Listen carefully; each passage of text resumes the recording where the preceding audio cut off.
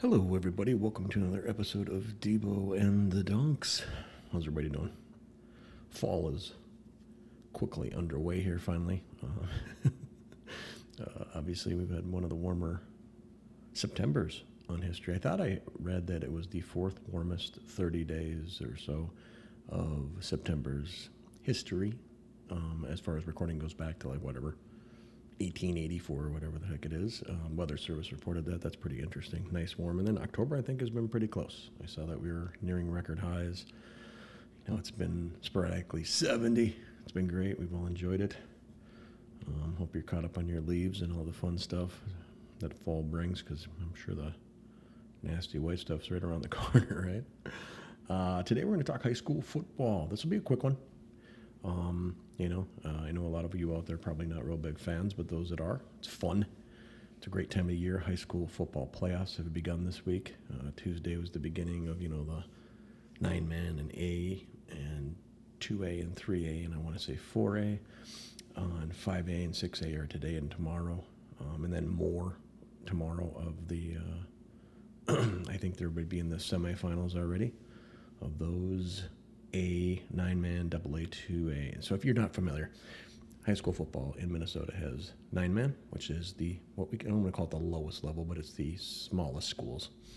Um, then there's single A, double A, triple A, four A, five A, and six A.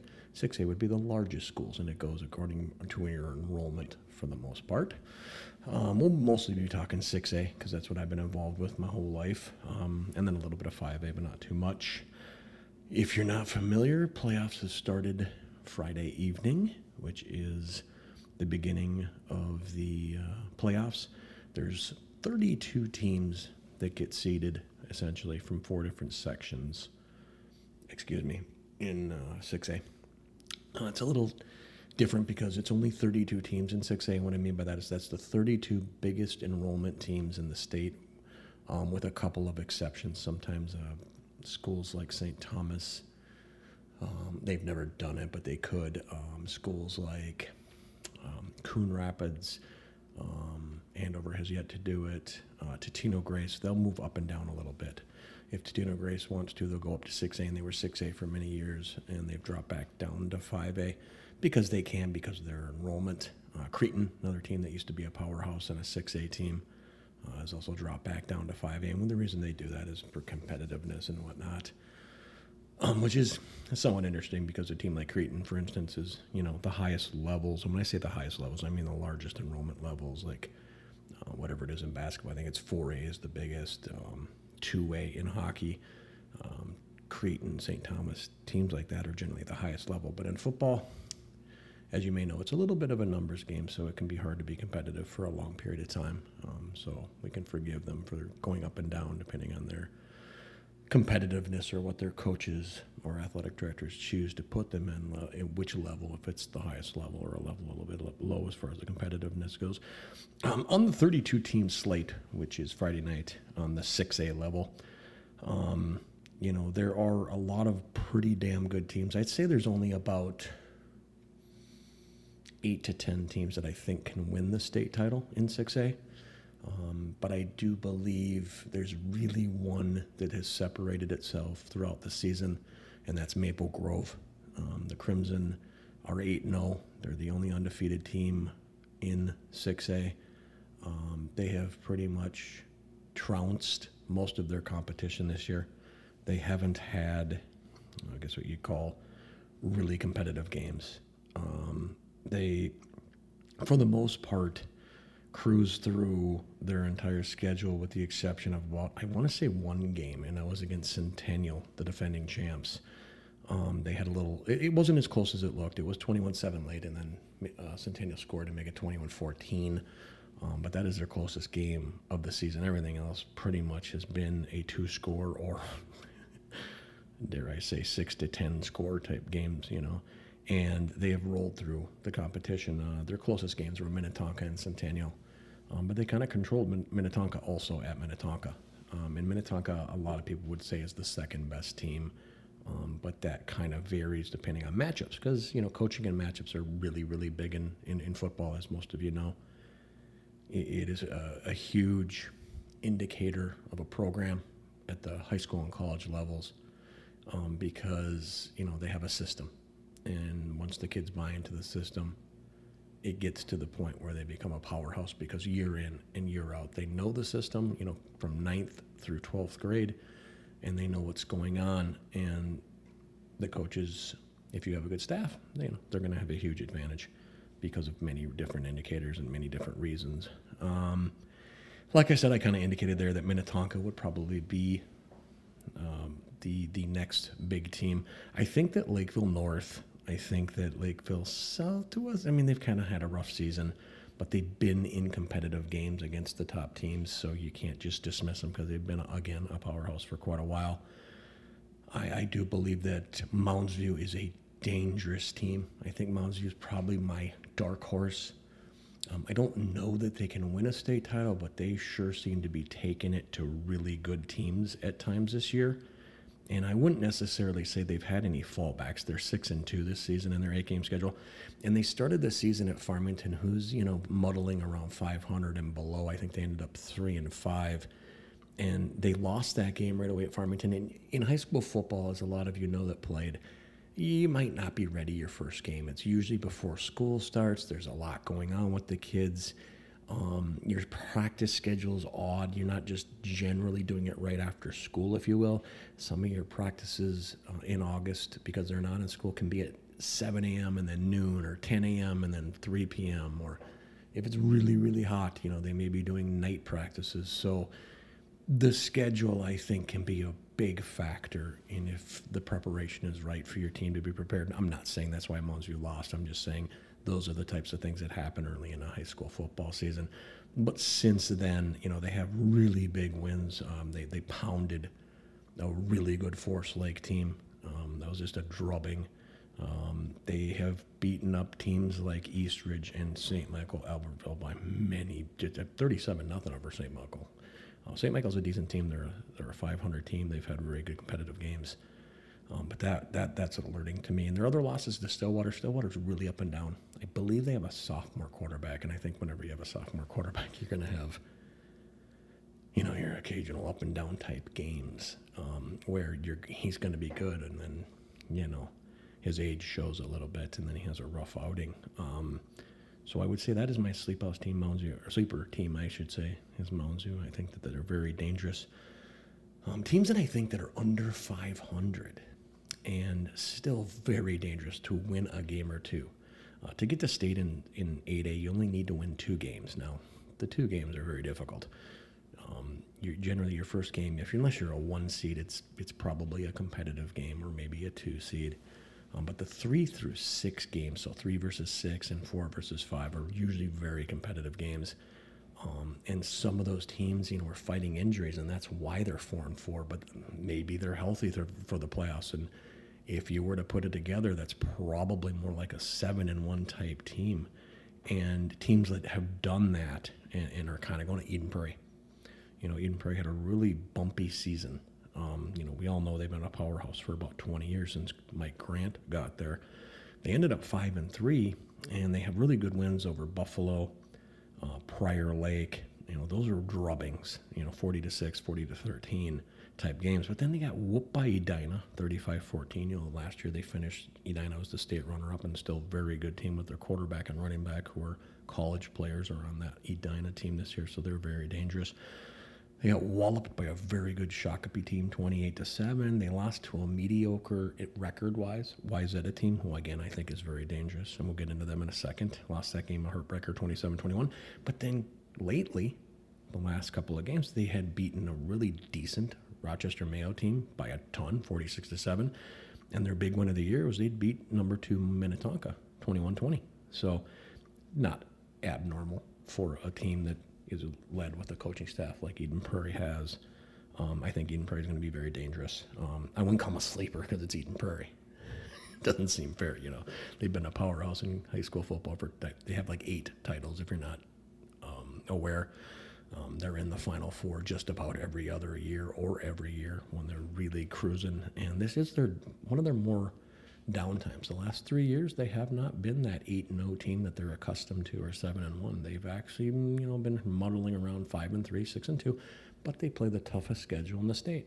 And before, when they would rock through it and win very comfortably, now they're in very competitive games. And if something goes wrong and it's an evenly matched game, you know, Eden Prairie is more suspect to lose. Um, but again, another dangerous team. Um, again, back to the favorites. I think the favorites are pretty clear. They are Lakeville North, Minnetonka. Um, to a certain degree, I think I would never throw away um, Centennial and Forest Lake because they've had very tough schedules and played the highest competition on their schedule really decently. Um, what I mean by that is Centennial almost beat Maple Grove. They, they scared the bejesus out of them. It was a very tight game throughout. Um, and that's surprising because Centennial has had a real tough season. You know, they've lost some games they shouldn't lose. Uh, they got shut out by Anoka 14 nothing. But, you know, again, high school football. That's how it can go. You know, upsets happen, if you want to call them upsets, because of matchups and coaching. Um, your quarterback's injured, you know, a big star player's injured.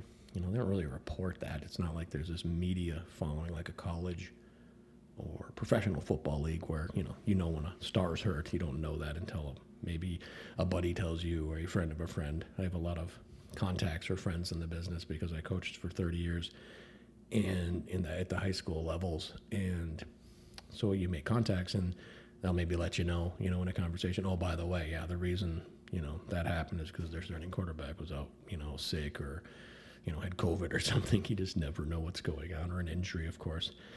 Um, but again, back to those teams. I think teams that are very dangerous. Shakopee also is a powerhouse. Shakopee can win the state title. Um, they'll be there for sure. Um, teams that I think are going to cruise Friday night um, would be, I would say Minnetonka is going to cruise. Maple Grove is going to cruise. Lakeville North. It's going to have a weird game against Hopkins. Hopkins scores a ton of points. That game could be something like 50 to 30. Um, that, that'll, that would actually be fun to watch if you're there live. Um, uh, the Lakeville South has got a tough game against Wayzata. Who knows who wins that game? I think that's very even. I think that goes down to the wire. But I do believe Anoka is going to be playing Roseville. Unfortunately, that's going to be a drubbing. Uh, Forest Lake probably handles Buffalo pretty well. Forest Lake very underrated. If you don't know about them, they're six and two. They have been seven and one, six and two the last three years. They're right there. They keep winning their first playoff game, but then the second one they've had some heartbreakers. Um, we should that'll, that'll, be fun to watch. They have one of the best defensive players in the entire state. They might have the best player in the entire state um, at defensive end, um, and he is going to the Gophers. He went to a camp last summer as a sophomore, so going into his junior season, he's a junior this year and at the camp, uh, at the at the actual facility down there at the U of M, um, just a few hours into the camp, they offered him a scholarship just after seeing him uh, live um, and, and, getting to talk to him and whatnot. It didn't take long to realize this kid is, you know, a six foot three and a half inch, 260 pound monster. Um, when I coached in the Forest Lake system, I had heard about this kid as far back as three years ago because I had coached his older brother. Um, and his older brother had kind of told me, "Hey, wait till you see what what's coming here." This my little brother is he's already benching 250 pounds in the eighth grade, and and easily, you know, he's not muscling it up. It's it's two three reps, and you don't hear about that very often in high school sports, even at the highest levels in Minnesota. Maybe that happens in Florida and Ohio and Michigan and Texas, but uh, I don't hear that very often around here. Um, he, he he's going to be something to watch. Cannot wait to watch him play for the Gophers. Uh, generally speaking, I think so. They're a dangerous team. I think Prior Lake is kind of dangerous. They have a win over Forest Lake, first game of the year. It's a close one. It's a one point win. Um, but I think that Prior Lake is very dangerous. They have a good team. I don't know that they can win state, but I think they can win a couple games, and that means something. Um, I think upset specials when I say upsets, because one team is clearly favored. Again, Shakopee's going to roll, by the way. Edina's going to roll. I think Eden Prairie's going to roll. Those are going to be pretty easy wins, in my opinion. The close ones that are that are really going to be tight because of the obviousness. I think that Rosemount is one and seven, but that is really deceptive. They have had an insanely tough schedule. They've played nothing but above 500 and undef- I should say top four, five, six, seven teams in the entire state. Um, their schedule has been brutal, and they play Blaine. Um, I believe Blaine's a three seed, and Rosemount is a six seed. But that's, you know, the reason just showing you the respect that Shakopee is getting a six seed with one win because everybody knows that that team is playing a schedule that is brutal. They played Lakeville North, they played Eagan, they played Farmington, Lakeville, South Shakopee, um, and Centennial, and you know that that's just brutal. That's a very tough schedule. They could be an upset special over Blaine. They could give them a shot. That's going to be a high-scoring, fun game to watch. Um, I think Blaine pulls that out, but it, it could be an upset special there. Um, another one that I think the Champlin Park Eastridge game that could go either way. That's going to be down to the wire, in my opinion. Eastridge has really been playing well the last three weeks. Um, but so Champlin Park is very dangerous to play a very t- difficult schedule, like all most of these teams. Um, and the AF wins over Centennial. They have good, solid wins. Um, that game should come down to the wire. I had the Wayzata Lakeville South. I already talked about that. Anyone can win that game. That should come down to the wire. Um, I think that Centennial is going to struggle with Rochester Mayo a little bit. Centennial's offense has been really stagnant the last three to four games. So if they win, I do see it being very. It won't be very blowouty. Maybe twenty-eight to seven, but I think it might be closer than that. Um, I think Mounds unfortunately, is going to blow out Coon Rapids. The Farmington Prior Lake game should be a good game. That should be a nice tight game, and if Farmington get the higher did get the higher seed, so they get home field, and that might help them a little bit. But Prior Lake is very dangerous. That's going to be a tough one. Um, I think St. Michael Albertville can beat Stillwater because we don't know which Stillwater team's going to show up. The one that lost to Forest Lake at home, or the one, excuse me, they'd actually played it for us, like I apologize. And the one, you know, that is, you know, getting drubbed, you know, by pretty solid teams, but their schedule is been. I think Stillwater's one of those teams that they have. They're four and four, and they got a they got a decent home game seed. You know, when they have their easy wins um, over Woodbury and teams like that, but then you know they lost by a touchdown to Forest Lake.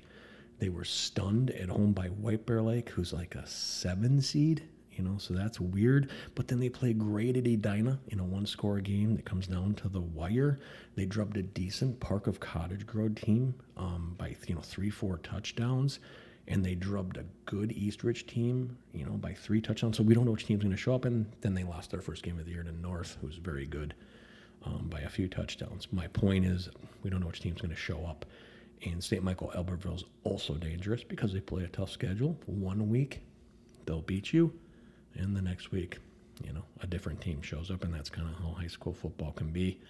Um, the Eagan Osseo game, that's another upset special. Osseo's been playing much better lately they kind of started the season, um, you know, is looking like they have a shot at going 0 and 8. You know, it wasn't going good. They got drubbed by teams like Maple Grove, but then they settled in, beat Coon Rapids, got blasted by Champlin Park, blasted by Blaine, blasted by Centennial, and then stunned St. Michael Albertville uh, at St. Michael Albertville by a point late um, then get drubbed by Anoka, and then have a war against Bear Lake and a, and a late touchdown where Bear Lake wins the game. But my point is, Osseo's been playing much better lately.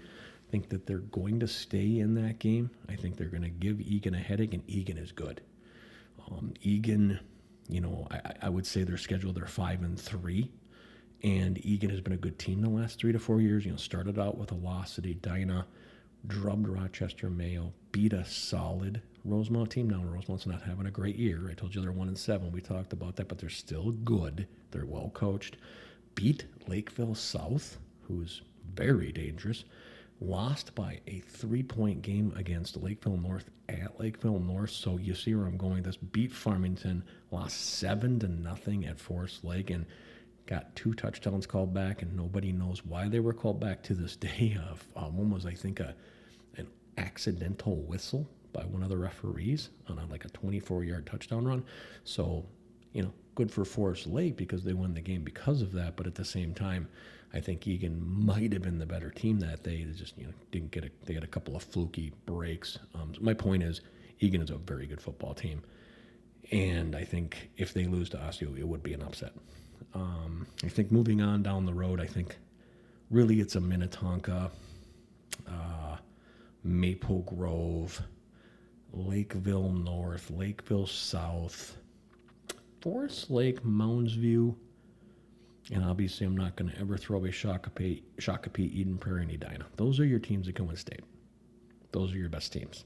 Those are the teams that are you know, really, really strong. I mean, they got to play each other, but those teams got a shot at getting to the Final Four and then getting into the dome. We call it the U.S. Bank Stadium, playing two games there indoors, and then we'll see who ends up uh, playing for the state title. If I have a prediction, I would be kind of surprised if Minnetonka and Maple Grove aren't right there. Um, again, Lakeville North, very, very good team. Haven't talked much about them. I don't know much about them. Haven't watched any of their games, but just by checking their schedule, they've you know they've been nothing but solid all season long with a seven and one season. Um, again, back to the sleeper teams because it's the most fun to talk about. Obviously, I'm going with Lakeville South. Wayzata, they play each other Friday night. Um, I don't think Centennial's a throwaway. I, I just feel like they're so well coached and they're very young. They lost so many seniors off their state championship team last year, but they have an environment at Centennial. They have a belief. Um, they have a system in place with many very good coaches, and they just really know what they're doing. And I really believe that they can be knocking on a door to that Final Four, if if because their matchups are brutal, and at the same time, you know, I'm not hundred percent sure about the team this year. I have not got to watch a Centennial game. I normally go to see a couple the last couple of years, maybe more. Last year I saw about four. Um, but my point is, you know, they're a very good team. I do believe they have a shot. I think Champlin Park can stun some people. Um, they're talented and young. Uh, that'll only get you so far, though. Um, Anoka, kind of a sleeper, and I haven't spoke about Anoka much at all. They have a couple of really good quality wins. They're a high seed. Um, they got a two seed, which is probably the highest seed they've had in 20, 30 years. I might be speaking a little out of my keister there, but I've been following high school football for 30 years, and I can't remember a moment where they were like five and three or six and two in a long, long time. Maybe there was one season in there somewhere in the last 15 to 20, but you see where I'm going with that. That has got to be pretty exciting for them to have a chance to go somewhere this year as far as um, you know where they're going to get how far they're going to get. That'll be exciting. I think that you really got to worry about Mounds I'm telling you, that is my sleeper team. I told you that earlier. The Mustangs are good. Um, they've had some pretty bumpy years the last five to six years. They were a powerhouse, if you're not knowing, um, for about 15 to 20 years. You know, they had a uh, they had uh, Grady was their coach, I believe, and he was there for many years. And when he retired, you know, there's a transition and during that transition, you know, they probably lost a few coaches to retirement and other programs. That's what happens in, in most high school sports. And when that happened, they you know had a few two and six, one and seven type seasons there for a while. Um, you know, pre-COVID and since COVID. But last year they got they had a couple of big upsets. They got into the mix, and then this year they are a powerhouse. They are a threat. I do believe they can win state. Um, I don't think they will, but I believe they can. I only watched them one time and I was very impressed. Um, and that's about it. That's kind of what I got. If you're uh, going to get out there into high school football and watch some of these games, I urge you to get out there. It is so much fun to, you know, enjoy that type of atmosphere. It's just warm enough, you know, to, you know, get out there on a Friday night. It's a little cool this Friday, you know, it'll probably be in the 40s, so you probably want to dress warm. but, uh, I don't see it being too bad. Just make sure you bring a nice cap, um, maybe a blanket if you know that's kind of your thing, so you don't freeze to death, and some nice uh, hot cocoa, all that good stuff. That's the best part about high school football, right? You get to do that stuff. I'll, I'll touch real quick on 5A if you're a fan. Um, I don't follow 5A as closely, but I do. And what I mean by that is I'm, I'm aware of it. I just don't go to any of the games. I don't have the time. Um, it's a little bit more, you know, can you get there or not? Your powerhouses are really simple. Um, they are Owatonna. Owatonna is undefeated. They are going to be competing for a state championship. A little stunner here is a little team called Two Rivers. I know absolutely nothing about them, but they're undefeated and they got a one seed, and that'll be fun to watch. I hope they can go far. Um, they'll have to beat St. Thomas Academy to get there. Um, St. Thomas is not their most powerful team. They're always a threat to win the state title in 5A. Um, that should be a matchup they got to get out of that section. I think Chanhassen and Mankato West and Mankato East, as always, will be battling to get out of two 5A. Uh, one 5A, I don't think there's anybody that can beat Owatonna. They're going to get to state. Um, 4A, four, when I say four, I meant section four, 5A, which is the next lowest enrollment level from 6A that we talked about the last 20 minutes. Um, I think it's going to come down to Cretin and Tartan. And one of those teams is probably going to get to state there.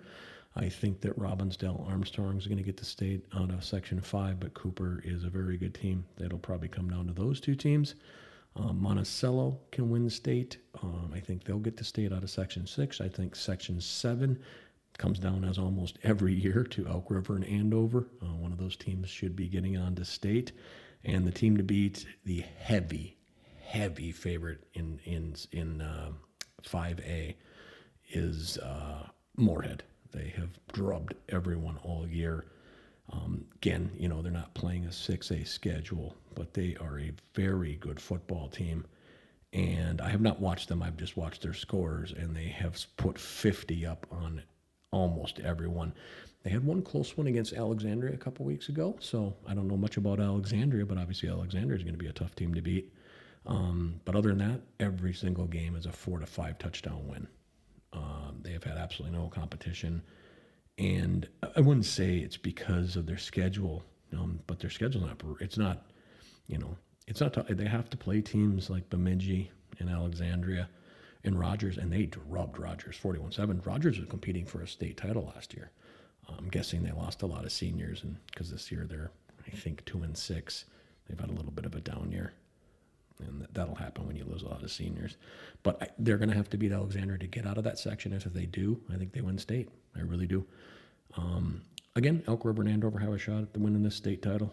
Uh, I think Monticello does. And I think this Two Rivers team I know nothing about probably does because they're undefeated and they got a one seed. Um, I think Chanhassen can win state for sure.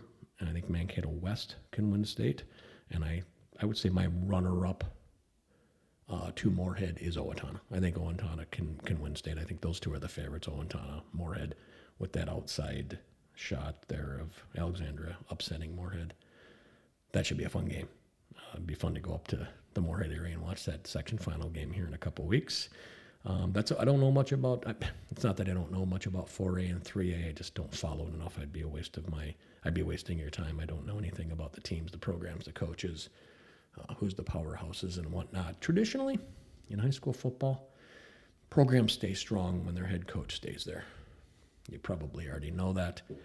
It's quite common for a team like Eden Prairie, for instance, to be very good for many years because their head coach has the same coaches. They have a system. It's almost easy after five, six, seven, eight years. I'm going to give you a perfect example. I was at Forest Lake for many years, and when the new coaching staff came in three years ago, brand new coaching staff, the entire staff, and the head coach Brad Beeskow, he took in mostly his guys from. Uh, he was from Holy Angels, and they had built a nice program there, small school. I think they're 4A, and they were very competitive and competing.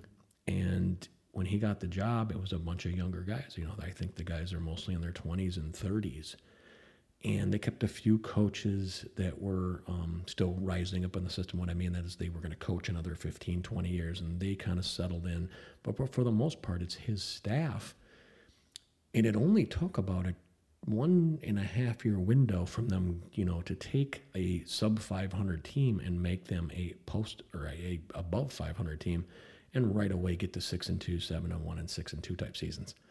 And that's a coaching staff and that's a community, and that's a good athletic director. And if you have that, you're going to be good for a long time. It, it's it's not fluky.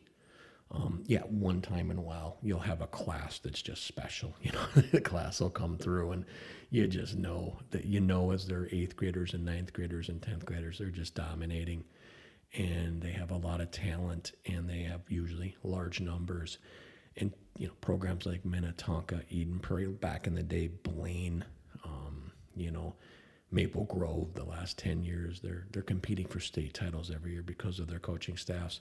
And unless they have a huge coaching state change, uh, generally they stay that way. Um, coaching's everything in high school football. What I mean by that is not, they don't play the game, okay?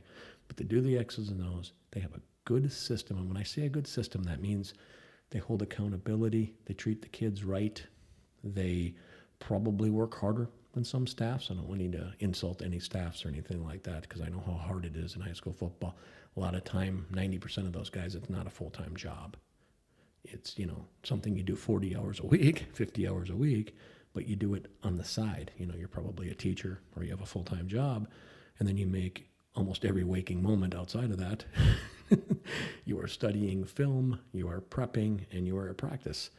Um, it's a six to seven day a week job nowadays. Uh, when I first got into it, you know, it was a 20 to 25 hour week, you know.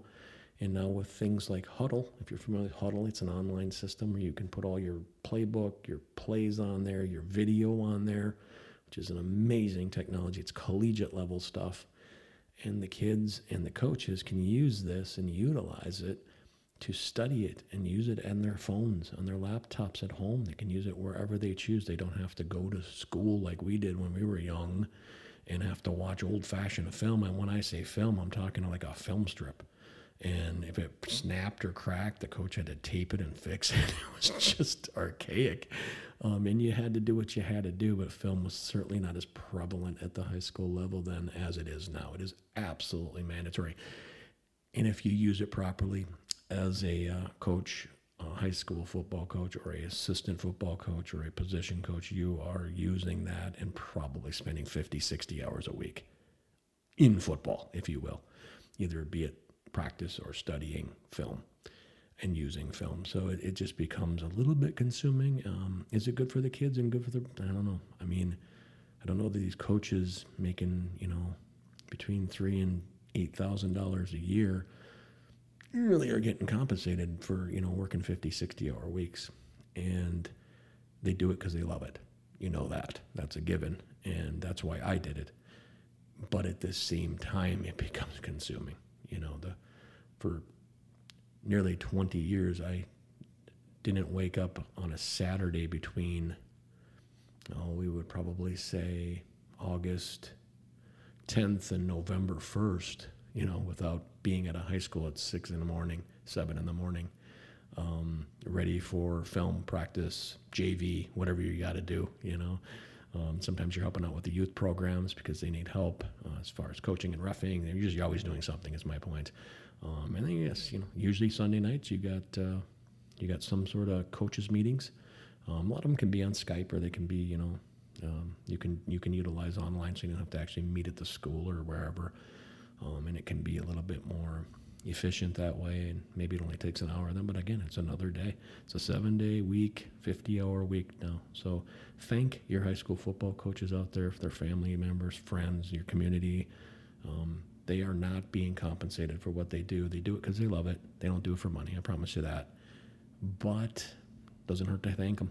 They, they do a fantastic job. High school football in Minnesota has grown thanks to people like Randy Shaver. You know, Randy Shaver from KARE 11, he's promoted high school football tirelessly since for 30 years. Um, and it's been fantastic. He has unfortunately gotten older and battled a couple of cancer um, bouts, and he's beat them both so far, which is amazing. God bless that guy. Um, he's a saint. He's a superstar in the community for high school sports and high school sports are better off because of men like him. Um, I think that we haven't found that next guy or next system to continue on what Randy brought as a legacy.